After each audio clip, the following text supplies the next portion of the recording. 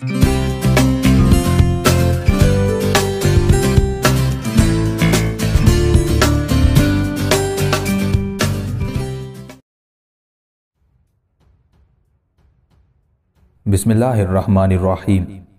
असलकुम दोस्तों। उम्मीद है आप सब खैरवाफियत से होंगे। आज से हम एक नए नावल का आगाज़ कर रहे हैं, जिसका नाम है इमादुद्दीन जंगी मुसनफ़ सादिक हुसैन सदीकी। दोस्तों, हम पहले भी इमादुद्दीन जंगी के बारे में एक ऑडियो बुक अपलोड कर चुके हैं, जो कि असलम राही साहब की लिखी हुई थी, जिसमें उनके बारे में मुख्तसर हालात वाक़ात बयान किए गए हैं, जबकि इस ऑडियो बुक में इमादुद्दीन जंगी के बारे में पूरे हालात वाक़ात बयान किए जाएँगे। उम्मीद है आपको ये नया नावल भी पसंद आएगा। पेश लफ्ज़। ईसाई मौरख उन लड़ाइयों को सलीबी लड़ाइयाँ कहते हैं, जो बैतुल मुक़द्दस के लिए ईसाइयों और मुसलमानों में हुई। बैतुल मुक़द्दस सोलह हिजरी में अमीरमिन हज़रत उमर फ़ारूक रज़ी अनहो खलीफा दोम के ज़माने में मुसलमानों ने फतह किया था। उन्होंने ईसाइयों को मजहबी आज़ादी दे दी थी। उस वक्त से चार सौ चौरासी हिजरी तक ईसाइयों ने इस मुकदस शहर को वापस लेने की कोई ज़रूरत नहीं समझी। लेकिन जब यूरोप में ईसाइयों की तादाद बढ़ गई, तब उन्हें एशिया में फैलने का ख्याल पैदा हुआ और उन्होंने सलीबी जंग का ऐलान कर दिया और बेशुमार ईसाई बैतुल मुकद्दस फतह करने के बहाने से एशिया में आए। चुनाचे उन्होंने एक हज़ार निन्यानवे ईस्वी में बैतुल मुकद्दस फतह कर लिया। अगर सलीबी लड़ाइयाँ महज बैतुल मुकद्दस के लिए होती तो इस मुकद्दस शहर को फतह करने के बाद ईसाई मुतमिन हो जाते। लेकिन उन्होंने एशिया में आकर देखा कि मुसलमानों की छोटी छोटी हुकूमतें कायम हैं और उनमें खाना जंगी है। उन्हें मुल्क हुकूमत की तमा लाक हुई और वह यूरोप से भारी तादाद में उमड़ आए। कई तो अब किस्मत आजमाई करने आए। आखिर उन्होंने इंताकिया मराकश और एजाज में अपनी हुकूमतें कायम कर ली। उस वक्त बगदाद में अब्बासी खिलाफत और मिस्र में फातमी खिलाफत थी, लेकिन दोनों खलीफा बरए नाम थे। उनकी सल्तनतें हद दर्जा कमज़ोर थी। ईसाइयों ने मिस्र, शाम और इराक पर कब्जा करने की जदोजहद शुरू की। उनकी चिरा दस्तियाँ इस कदर बढ़ गईं कि इस्लामी इलाकों में ताकत करके वहाँ के मुस्लिम जनो फर्जन तक को कत्ल करने लगे। उनके खौफ से इस्लामी सरहदी इलाकों की बस्तियाँ खाली हो गई, रास्ते बंद हो गए। इब्ने असीर ने लिखा है कि ईसाई मुजाहिद, जो बैतुल मुकद्दस की फतह का बहाना करके एशिया में आए थे, मुसलमानों की हुकूमतें हड़प करने लगे। वो इस्लामी बस्तियों पर ताकत करते थे, मुसलमानों को बड़ी बेरहमी से जिबा कर डालते थे। उन्होंने डाका जनी शुरू कर दी थी। उनके खौफ से रास्ते बंद हो गए थे। वो खेतों को जला डालते थे। मुसलमानों में खाना जंगी थी। वो मुसलमानों की नाइतफाकी से फ़ायदा उठा रहे थे। ऐसी हालत में खुदा ने इमादुद्दीन जंगी को खड़ा कर दिया। उन्होंने ईसाइयों के सैलाब को रोका। इमादुद्दीन जंगी कौन थे? उन्होंने किस सरफरोशी से ईसाइयों से मुकाबले किए और बचपन में कैसी दलेरी का काम किया था? इस नावल में वो सब वाकयात तफसील से बयान किए गए हैं। ये नावल हिलाली और सलीबी लड़ाई का मुरक्का है। और मुझे पूरी उम्मीद है कि मेरे पिछले नावलों की तरह शायकीन इसे भी पसंद फरमाएँगे। Sadiq Hussain Siddiqui, episode one. दरियाए फरात के किनारे एक सुनसान मकाम पर एक खसपोश झोंपड़ी थी। उस झोंपड़ी के सामने एक बुज़ुर्ग सूरज शख्स एक लकड़ी से कमर लगाए बैठे थे। उनकी उम्र 40-45 साल होगी। दाढ़ी सया थी, सूरज से जहानत और बहादुरी के आसार ज़ाहिर थे, लेकिन चेहरे से ज़यीफ व नकाहत हवीदा थी। ऐसा मालूम होता था जैसे वो बीमार हो या किसी गम ने उन्हें चूस लिया हो। उनके सामने एक दस साल का बच्चा बैठा था। यह बच्चा तंदुरुस्त और खूबरू था। उसका रंग गोरा, आँखें बड़ी बड़ी और गहरी सयाह थी। दोनों अरबी लिबास पहने हुए थे। बच्चे पर अरबी लिबास खूब जेब दे रहा था। सर्दी का मौसम था। कड़ाके का जाड़ा पड़ रहा था। रात को बर्फबारी होती थी। उस रोज भी बर्फ़ पड़ी थी। अगरचे दिन को निकले हुए कई घंटे हो चुके थे, लेकिन अभी तक आफताब कोहर में मुँह छुपाए था, जिसकी वजह से सर्दी बड़ी हुई थी। बच्चे ने कहा, आज किस कदर सर्दी है, अब्बा जान? बुज़ुर्ग शख्स किसी ख्याल में मुस्तगरिक थे। उन्होंने चौंक कर कहा हाँ बेटा, आज सर्दी ज़्यादा है, मगर अब कोहर छटने लगा है और आफताब निकलने वाला है। थोड़ी देर की सर्दी और बाकी है। बच्चा, सामने दरिया को देखिए। ऐसा मालूम होता है जैसे दरिया में से धुआँ उठ रहा हो। जईफ ये कोहर है बेटा। दरिया में से नहीं उठ रहा, बल्कि आसमान से बरस रहा है। बच्चा, अगर हमारे पास गर्म कपड़े होते तो सर्दी से तकलीफ़ ना उठाते। जईफ खुदा जिस हाल में रखे, उसका शुक्र करना चाहिए बेटा। उन्होंने ठंडा सांस लिया और कहा, हम अच्छा जमाना भी देख चुके हैं। उस वक्त तुम छोटे थे, फिर हम पर मुसीबतों के पहाड़ टूट पड़े। ये कहते कहते वो बहुत गमगीन हो गए। बच्चा उनकी सूरत देखने लगा। उन्होंने उस मासूम को अपनी तरफ़ देखते हुए देखा। उन्हें खौफ हुआ कि बच्चा भी गमजदा ना हो जाए। उन्होंने कहा, बेटा है शाम देखो, सूरज निकल आया है और धूप फैलने लगी है। हशाम ने देखा, वाकई कोहर छटने लगा था। ऐसा मालूम होता था जैसे हल्के बादल उड़े जा रहे हों। आफताब ने कोहर का निकाब उलटना शुरू कर दिया था और धूप निकलने लगी थी। मासूम बच्चे का चेहरा खिल उठा। उसने खुश होकर कहा हाँ अब्बा जान धूप निकलने लगी है।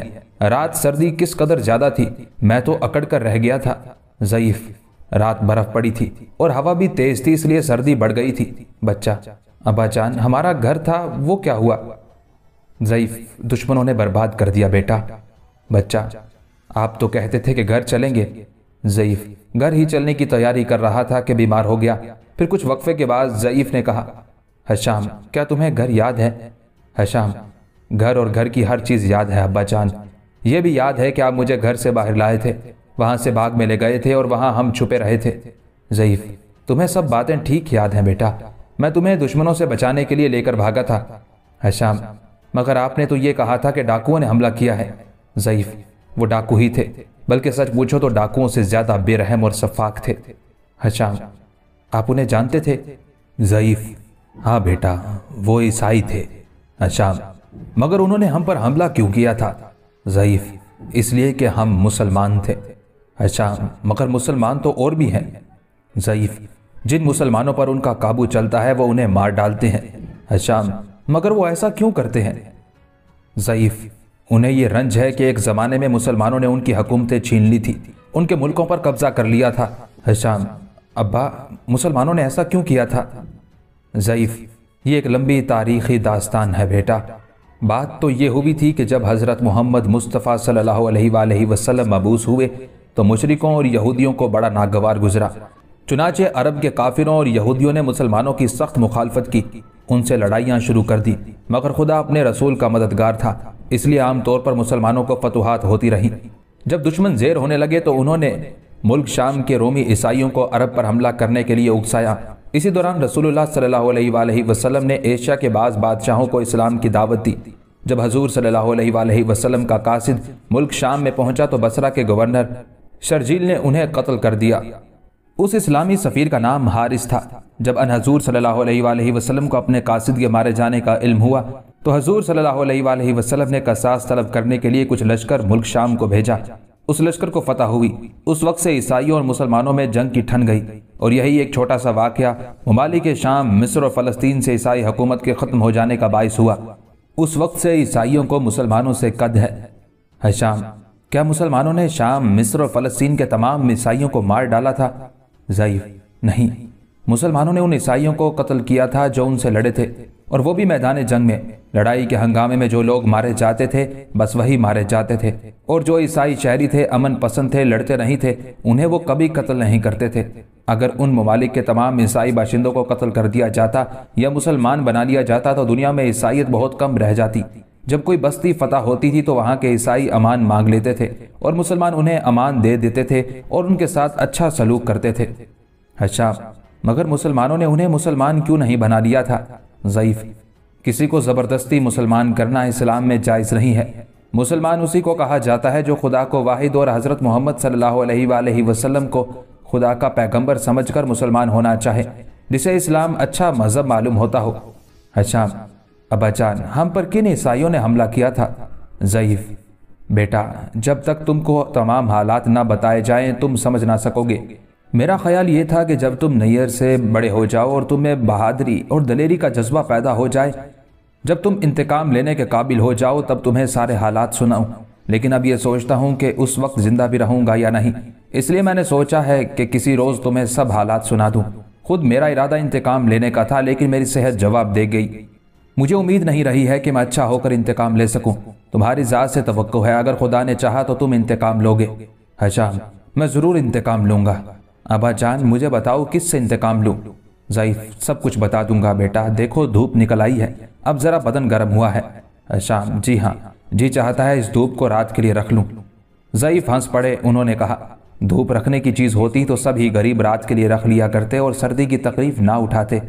हशाम अच्छा तो बताइए अबा जान, वो कौन ईसाई थे जिन्होंने हम पर हमला किया था और जिनसे मुझे इंतकाम लेना है? ज़यीफ, बेटा सब कुछ बता दूँगा और देखना ये सामने कौन से सवार आ रहे हैं। अशाम ने भी गौर से देखा। उसने कहा, कोई हो मगर ये मुसलमान नहीं है। जयीफ गौर से देख रहे थे। उन्होंने कहा, अफसोस, ये तो सफाक ईसाई है। बेटा हशाम, तुम जल्दी से झोंपड़ी में घुस जाओ और अंदर गड़े में दाखिल होकर ऊपर घास खींच लो। कुछ भी हो, तुम उस वक्त तक बाहर ना निकलना जब तक ये लोग चले ना जाएँ।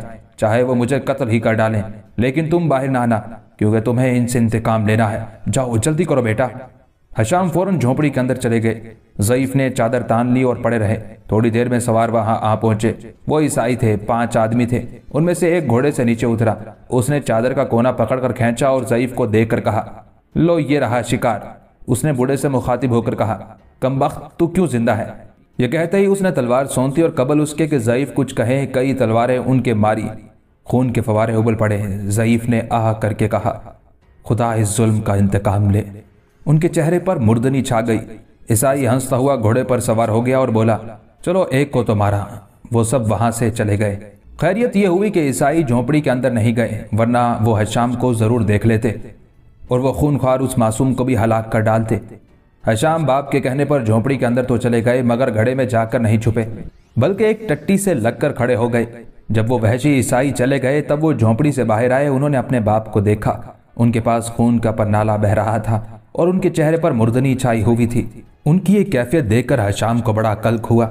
वो उनके ऊपर गिर गए और उन्होंने रोते हुए कहा, अब्बा जान, ये क्या हुआ? जईफ ने आँखें खोलकर हशाम को देखा। फिर उनके सर पर शफकत से हाथ फेरते हुए कहा, बेटा, सब्र करो। खुदा की यही मर्ज़ी थी। मैं चाहता था कि सेहतयाब होकर दुश्मनों से इंतकाम लूँ। लेकिन यह मालूम न था कि वही मेरा चरागे शहर बुझा डालेंगे। उनके जख्मों से खून जारी था। हशाम रो रहा था। जईफ ने फिर कहा, जाने पितर, मुझे यह हसरत और मलाल रहेगा कि तुम्हें जंगल बयाबान में बेपनाह छोड़ रहा हूँ। ना तुम्हारे लिए कोई ठिकाना कर सका और ना तुम्हें अमनो हिफाजत की जगह पहुँचा सका। बेटा, मैं तुमसे बहुत कुछ कहना चाहता हूँ। इस चादर को भिगोकर मेरे जख्मों पर बाँध दो। शायद इससे खून बहना बंद हो जाए। और जो मैं तुमसे कहना चाहता हूँ कह सकूँ। हशाम जल्दी से उठा। आबगीना और चादर लेकर दरिया पर पहुँचा। आबगीना में पानी भरा और चादर पानी में तर करके वापिस आया। अव्वल उसने जख्म धोए और उन पर चादर फाड़ कर पटियाँ कस दी। उन पटियों के कसने से खून की रवानी में कमी तो हो गई, मगर बंद नहीं हुआ। उसके बाद उसने उस खून को साफ़ किया जो ज़मीन पर बह गया था। उन कामों से फरागत करके वो जईफ के पास बैठ गया। जईफ ने कहा, बेटा, तुम्हें अपना घर याद है। हम सब उस घर में रहते थे। वो घर अल्फरामा में वाक़ है था। अल्फरामा मिस्र की हदूद में एक मशहूर कस्बा था। अलफरामा में सबसे इज़्ज़त घराना हमारा था। मेरे बाप यानी तुम्हारे दादा हसामुद्दीन की सारी बस्ती वाले बड़ी इज़्ज़त व तोकीर किया करते थे। उनके सिर्फ़ एक ही बेटा था और वो जैगमुद्दीन था। मेरा ही नाम जैगमुद्दीन है। तुम्हारे दादा ने मेरी शादी के लिए कई जगह पयाम दिए, लेकिन मेरी तबीयत में कुछ लाउबालीपन था। मैं शादी के लिए तैयार ना हुआ। यहाँ तक कि मेरी उम्र 25 साल से भी ज़्यादा हो गई। एक रोज मैं शिकार खेलने गया और इतनी दूर निकल गया कि रास्ते ही में दिन छुप गया। मजबूर होकर जंगल ही में दरख्तों के साय में बसेरा करना पड़ा। मैंने घोड़ा एक दरख्त से बाँध दिया और नम गिरा बिछाकर सो रहा। कुछ शोर सुनकर मेरी आँख खुल गई। मैं उठकर बैठ गया। मैंने चीख की आवाज़ सुनी। फ़ौरन मैं तलवार लेकर उठा और चल पड़ा। चांदनी रात थी। चाँद आसमान पर तैर रहा था। नूर की बारिश हो रही थी। रात का कुदरती सकूत छाया हुआ था। मैंने देखा, तीन आदमी किसी लड़की को ज़बरदस्ती उठाए ले जा रहे हैं। मैं झपट कर उनके पास पहुँचा और ललकार कर उनसे कहा, खबरदार, मैं आ पहुँचा हूँ। उन मर्दों ने मेरी तरफ़ देखा। वो ईसाई थे। उन्होंने लड़की को छोड़ दिया और तीनों तलवारें निकालकर मुझ पर हमलावर हुए। मैं उनके मुकाबले में डट गया। उस वक्त मेरे जिस्म में कुव्वत थी और सीने में जोश था। मैंने उनके हमले रोके और खुद भी उन पर हमले शुरू किए। इत्तेफाक से उनमें से एक के गर्दन पर मेरी तलवार पड़ी और उसका सर उड़ गया। अब दो हरीफ मेरे मुकाबले में रह गए। उन दोनों ने निहायत फुर्ती और कुत से मुझ पर हमले शुरू किए। मैं भी और सरगर्मी से उनका मुकाबला करने लगा। कुछ देर तक हम एक दूसरे पर वार करते रहे और दोनों मेरे सामने थे, लेकिन दफतन उनमें से एक पीछे चला गया। उसने मेरे पुष्ट की तरफ़ से आकर हमला करना चाहा था। मैं सामने वाले पर झपटा, वो पीछे हटा, मैंने बड़ी फुर्ती से पलटकर अपने आने वाले पर हमला कर दिया। वो उस हमले की मुदाफत पर तैयार ना था, झिझक गया। मेरी तलवार उसके सर पर पड़ी और उसके सर की दो फांके कर गई। वो होलनाक चीख मारकर गिरा और तड़प कर ठंडा हो गया। अब सिर्फ़ एक आदमी मेरे मुकाबले में रह गया। उस पर मेरी हैबत छा गई। वो भाग खड़ा हुआ, मैंने उसका ताकुब किया। वो दरख्तों के झुंड में घुसकर गायब हो गया। मैं वापस लौट आया और उस लड़की के पास पहुँचा जिसे वो उठाकर लाए थे। वो सहमी हुई खड़ी थी। उसकी सूरज चांदनी में जगमगा रही थी। वो बहुत ज़्यादा हसीन थी। उसने मुझे मशकुराना नज़रों से देखा। मैंने उससे दरियाफ्त किया। तुम कौन हो?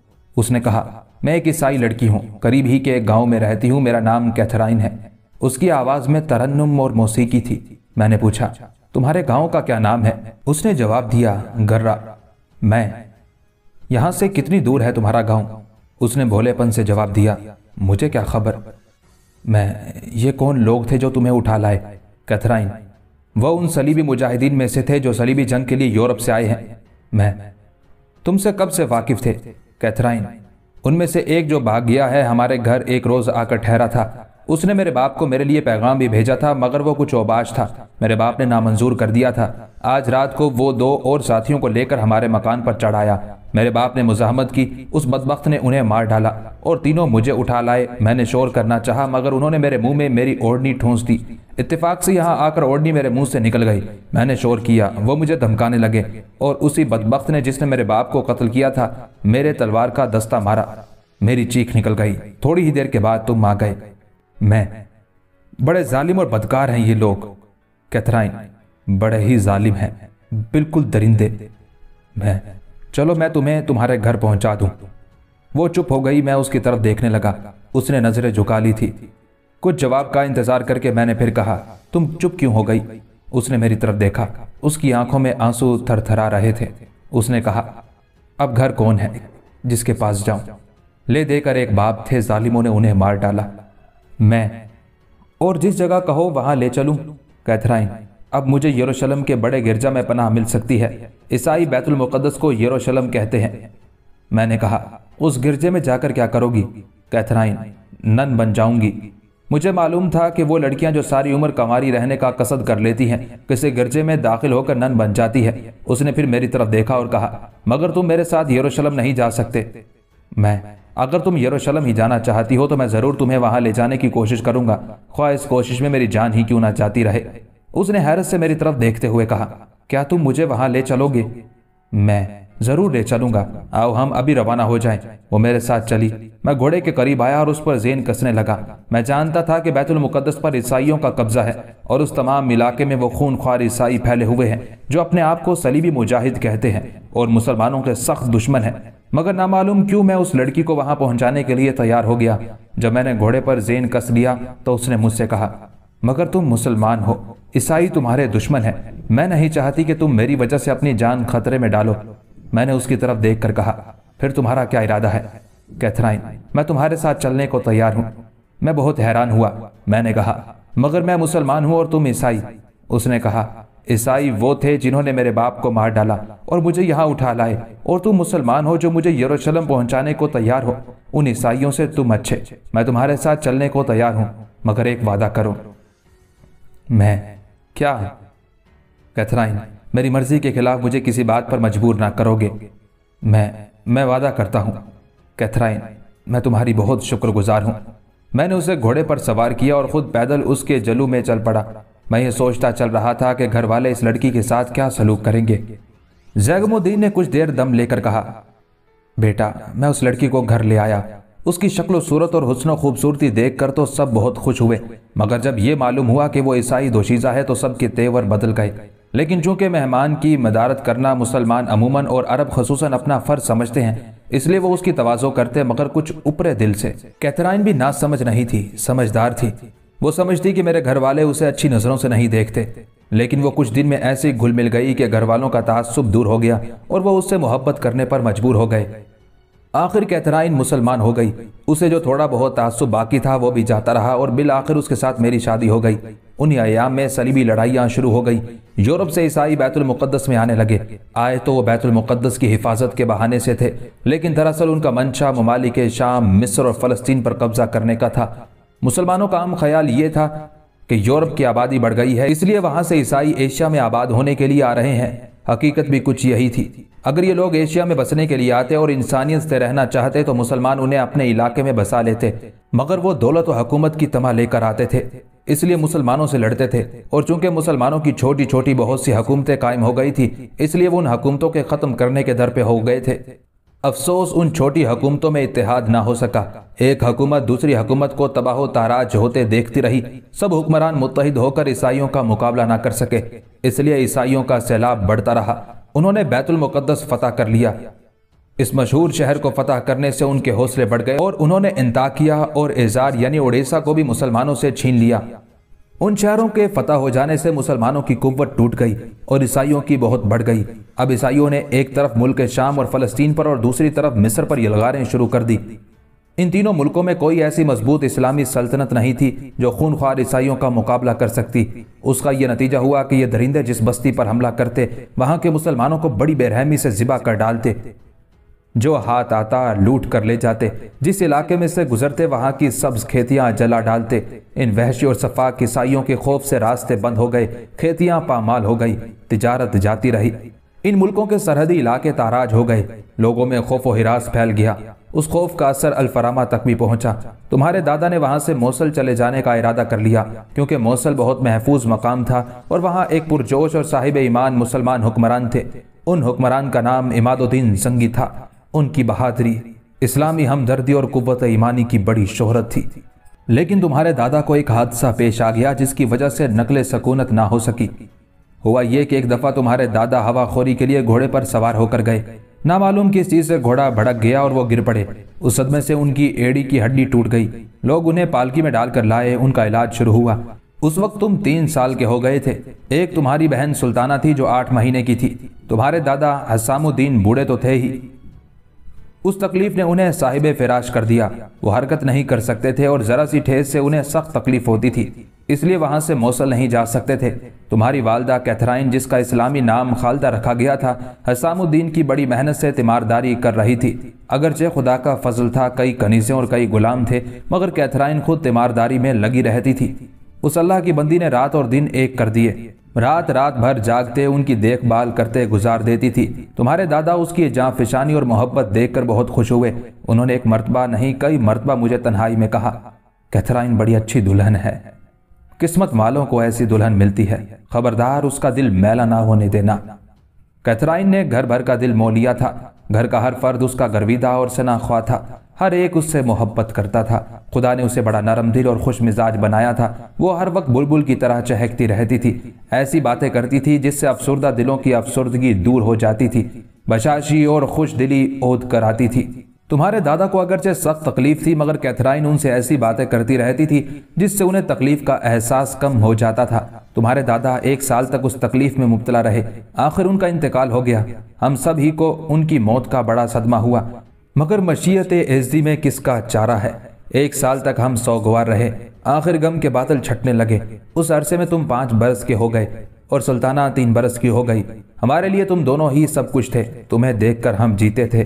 खसूस तुम्हारी वालदा तुम दोनों पर जान छिड़कती थी। इस दो साल के अरसे में नामालूम क्या असबाब पैदा हुए कि ईसाइयों का सैलाब आगे नहीं बढ़ा? उनके लूटमार और कत्लो गारतगरी के वाकयात में भी कमी रही। सच पूछो तो हम उनकी तरफ़ से मुतमिन हो गए, लेकिन यह इतमान जल्द ही रुखसत हो गया। फिर तूफ़ान उठने लगा था और ईसाइयों ने फिर इस्लामी बस्तियों पर छापे मारने शुरू कर दिए। मुसलमानों पर खौफ व हिरास छा गया। हमारी बस्ती अलफरामा तक भी उसकी दस्तराजियाँ होने लगी। हमने फिर मौसल चलने का तहिया कर लिया, मगर बड़ी सुस्ती से काम लिया। फ़ौरन ही तैयारी नहीं की, लेकिन हम मजबूर थे।